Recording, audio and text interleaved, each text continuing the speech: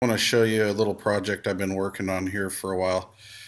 I had this old bird 43, 4431 uh, meter.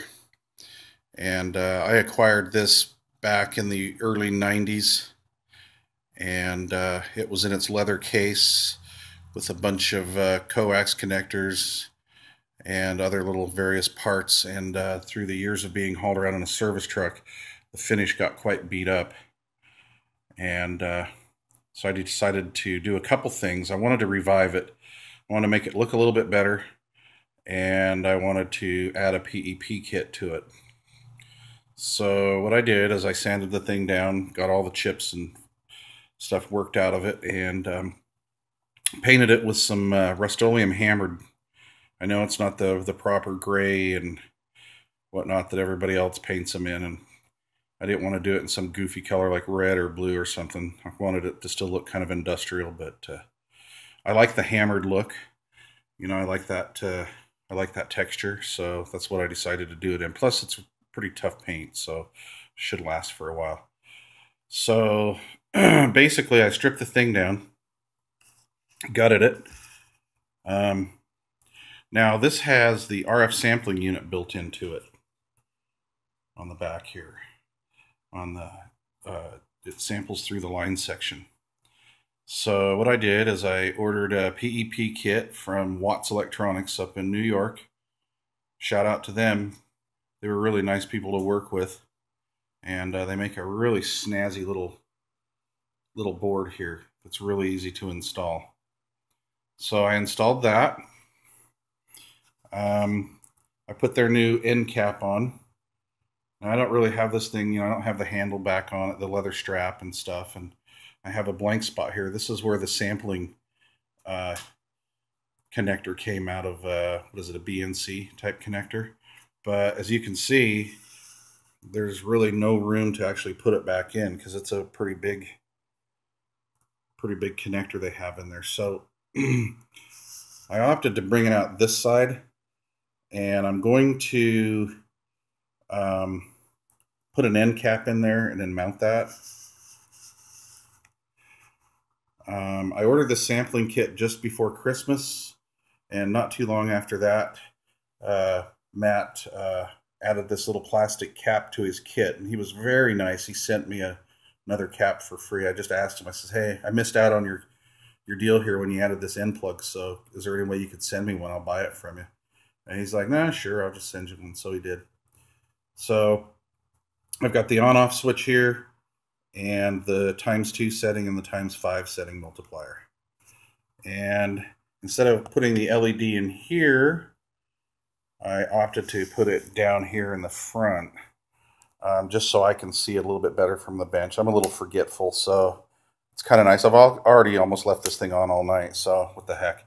I'm using a coaxial dynamic slug. This is the 82005, 2 to 30 megahertz at 100 watt slug here. This meter was also replaced, the meter movement itself was replaced back in 1990. So that's all new. The the the meter itself is older than that.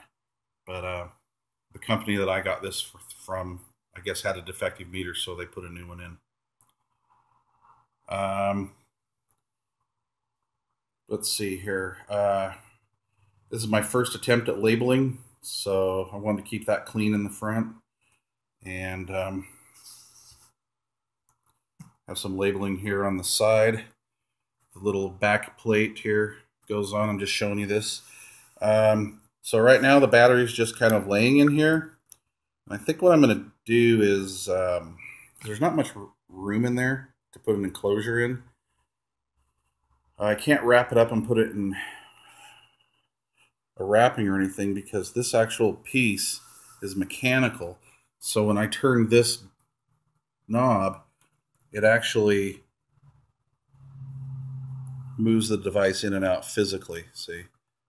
So it's kind of hard to put anything down in there to pin the battery in. So I'm going to come up with something. Maybe I'll put a piece of Velcro on it or something. I'm not really sure. I finished this up a while ago and I'm just kind of getting back to working on it again. I'm going to put the little rubber uh, rubber feeties back on here. I have the rubber feet, the original ones back here again. Um, anyway, uh, the, the, PEP kit was very easy to install, uh, very easy to calibrate. It works like a charm. I absolutely love it. Um, I like that. The little blue LED, that looks good. Everything in my shack is pretty much blue LED anyway. But uh, there you have it. If you guys are thinking about uh, using that PEP kit, um, that Watts uh, guy up in, uh, I think it's Watts Electronics up in New York. His eBay handle is like Matt, and then his call sign K2 something. I don't know. I'll put that down in the description. But anyway, well, tell me what you think. I'm not really a painter. The paint job is fair to marginal. Um, I got a little goober here. When I tightened this screw up in here, it started wrinkling the finish. Uh, when I started reassembling this thing, the paint job was a couple days old, and apparently um, I should have let it uh, cure a little bit longer. But you know what? I really don't care. This thing looks 100 times better than it did. It works flawless. Um, nice to have my bird back in line. So there you go. Bird 4431 um, rehab